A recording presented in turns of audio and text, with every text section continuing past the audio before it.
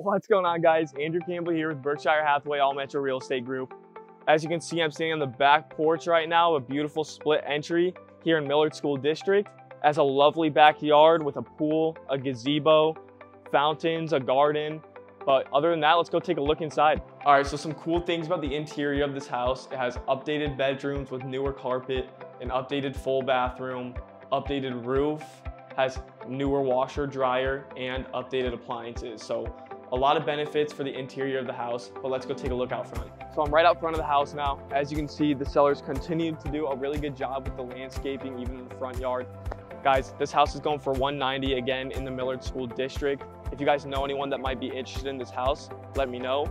Or if you guys know anyone in the market right now, family, friends, coworkers looking to buy or sell, let me know as well. And remember, who you work with matters.